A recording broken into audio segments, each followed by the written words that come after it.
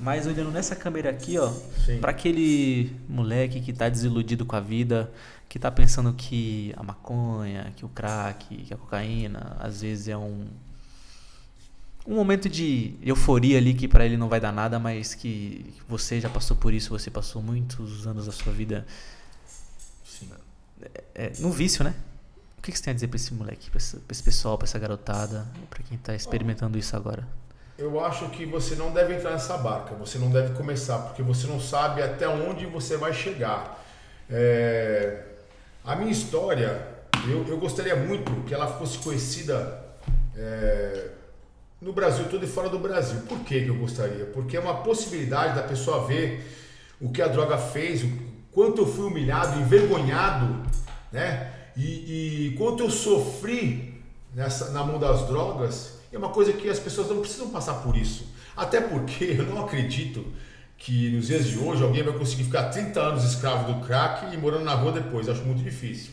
Então eu acho que tinha uma razão para isso acontecer, para eu estar contando através do livro essa história, esse, esse, testemunho, né? Então eu acho assim, você não tem que se esconder atrás de droga, de sensações prazerosas. Você pode buscar na tua realidade porque situações difíceis vão vir, né? afrontas vão vir, nem sempre você vai saber o que fazer na tua vida. Mas quando você coloca alguém com um poder maior que o seu, fora da tua, da tua compreensão muitas vezes, alguém que, que nos criou, né? Uma, né? A sua dependência por um amor maior, né? Se você não crê que você veio da evolução do macaco, como eu não creio, eu creio na formação do mundo através do Aja, né? Então, seja mais amigo e próximo dos seus pais. Tire suas dúvidas com eles. Tá, pai, me explica sobre isso, me explica sobre aquilo. Não deixe um cego guiar outro cego. Uma pessoa sem maturidade na rua te mostrar o que é droga e que vai te trazer uma sensação prazerosa, porque o custo disso pode ser uma vida, pode ser muito caro. Os seus sonhos no futuro podem ser destruídos. Se você sonha ser um jogador, um advogado, um engenheiro, um dentista ou um policial, aquele sonho seu pode acabar no primeiro trago, no primeiro gole tá? Porque você não sabe se você tem predisposição para ser um dependente como eu fui. E eu vou falar para vocês, hein?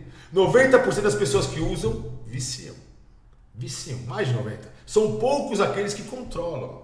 Normalmente você fica controlado pela droga, tá? É uma coisa física, né? Uma coisa que domina você, que escraviza. Então, não dê o primeiro gole, não dê o primeiro trago, façam esportes, conheçam Jesus, tá? Que ele é o caminho, é o único caminho e sejam próximos dos seus pais, pais, avós, aqueles que criarem, que derem uma boa formação. Né? Quem quer voar alto anda com águia, águia não anda com galinha. Galinha vai pra panela, hein? Esse é o meu, meu lema, viu? Eu vou lembrar disso daí, hein? Quem galinha, quer voar alto, galinha, voa com águia. Eu fui pombo e galinha há muito tempo, mas Jesus me tirou do fundo do poço. Eu, vou, eu costumo dizer que eu cheguei no fundo do poço, eu cavei mais uns 500 metros para baixo, porque não foi suficiente para mim.